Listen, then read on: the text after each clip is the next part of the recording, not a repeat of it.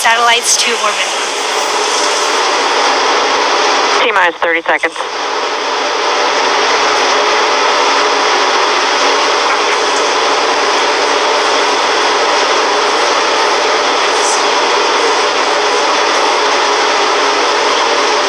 T minus 15 seconds.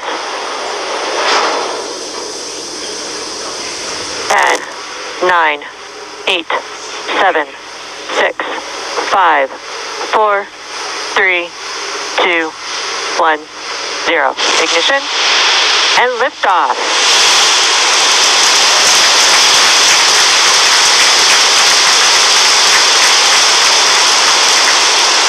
Vehicles pitching downrange. Stage one chamber pressure is nominal.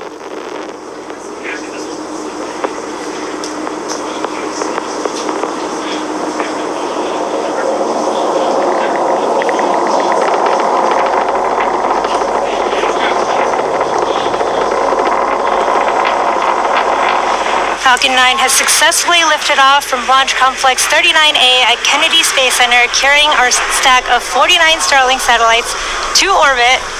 Moments ago, we throttled the engines Power down in preparation for max Q, or maximum aerodynamic pressure, which will happen here in just a few seconds at T plus 1 minute and 12 seconds. Falcon is supersonic.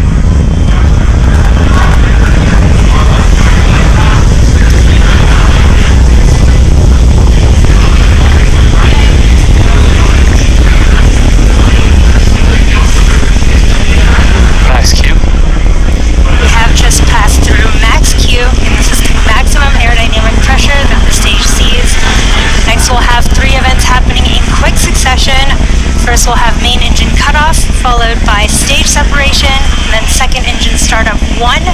Now, first main engine cutoff is where all nine of those M1D engines on that first stage will shut off to slow the vehicle down in preparation for stage separation.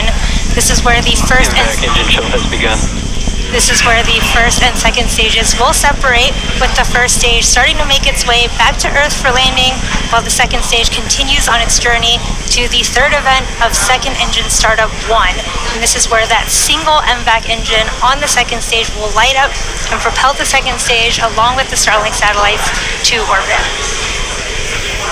We're a little under 30 seconds away from these three events. You'll want to watch out for fairing deploy, which is going to happen shortly after that. Hopefully, we get cool live views from the second stage camera of those fairing halves popping off.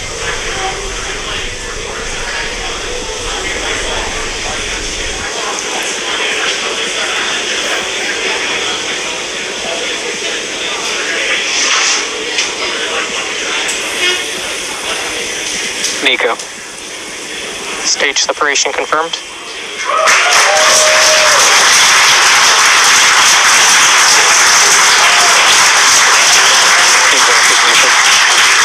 Wow, beautiful views from the first stage and second stage Both tracker stages there. are on nominal trajectories. We did have successful MECO Fairing stage separation separation. There's fairing deployment there. Again, this what a cool view from the second stage. Again, we did just have confirmation of successful fairing deployment. Again, SpaceX has reflown the Falcon fairing halves since November of 2019. Again, this was our second flight for both of those, and we will be attempting to recover them on our recovery vessel, Doug. It looks like you can just maybe make out those fairing halves in that live view from the ground as they are flying away from the second stage there. It looks like that's the first stage, maybe also floating off to the left. Now, as stage two heads towards its targeted drop off orbit, there, stage one will execute two burns in order to make its way back home to Earth. The first is an entry burn. Now, this is where three of the M1D engines will reignite, and this helps to slow the stage down as it re enters the upper parts of the Earth's atmosphere. Now, the second burn, of course, is the landing burn, and this is a single engine burn that brings the vehicle speed down rapidly in order to land on the drone ship. Acquisition signal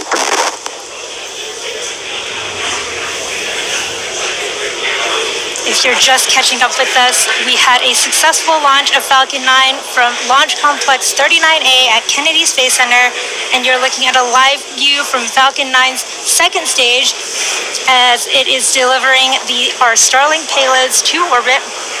Stage one is currently making its way back to our drone ship, a shortfall of gravitas in the Atlantic Ocean.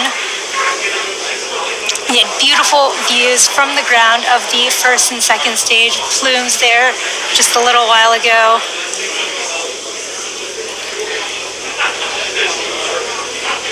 Now the Merlins on the first stage are optimized for sea level, so these achieve 190,000 pounds of thrust during ascent and descent. And in contrast, the MVAC engine, which you see on your screen right now, is optimized for 220,500 pounds of thrust in vacuum. Now, the primary difference between these two engines is just the size of the nozzle. The MVAC nozzle is a lot larger than the M1D nozzles on first stage. The Falcon 9 is equipped with four hypersonic titanium grid fins positioned near the top of the first stage. And the first stage is using these grid fins to help navigate and reorient itself as it heads back home to Earth.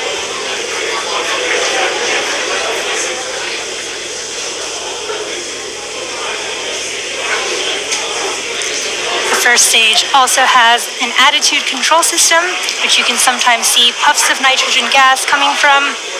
And this attitude control system also helps that first stage uh, orient itself as it returns home.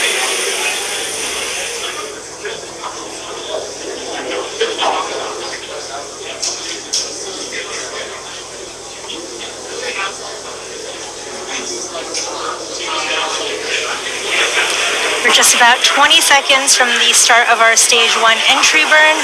And this is a 20 second burn and it'll help slow the vehicle down as it enters the thicker parts of the Earth's atmosphere. And this is a three engine burn and it is three engines in a row on Stage the one first stage. FTS is safe.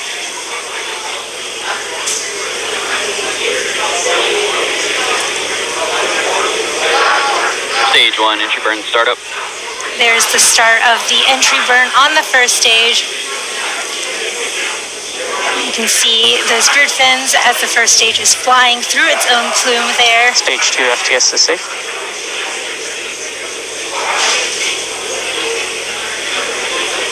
Stage one, entry burn shutdown.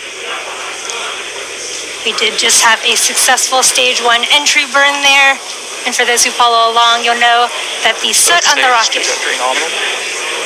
Second stage trajectory is still nominal. Um, as I was saying, the soot on the rocket indicates that it's been flown before. So the fuel that we use on Falcon 9 is rocket grade kerosene or RP1, which is carbon based. So when it burns, it generates soot.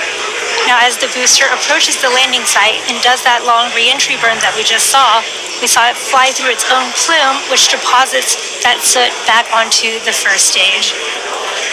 Now you can see this sometimes on the pad. The soot is still stuck onto the first stage from its previous flights. And if you watch closely to your onboard camera during landing, you might be able to see soot sticking on the lens of those cameras as well. Now coming up in just a few seconds, we will have the start of our stage one landing burn. This will be another about 20 second burn. Hopefully will land us on our drone ship, a shortfall of gravitas Stage two terminal guidance. in the Atlantic Ocean. Stage one, startup.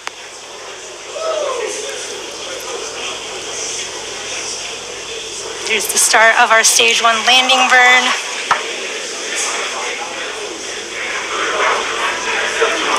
Cool views of the drone ship approaching. Stage one, landing leg deploy.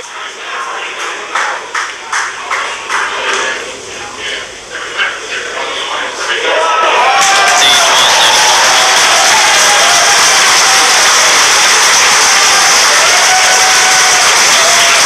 right there on the middle of the drone ship.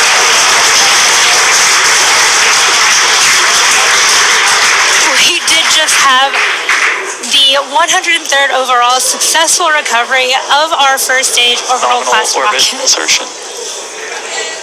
And we just missed it there, but we did have a successful second engine cutoff, and we just got that confirmation of a good orbit from stage two.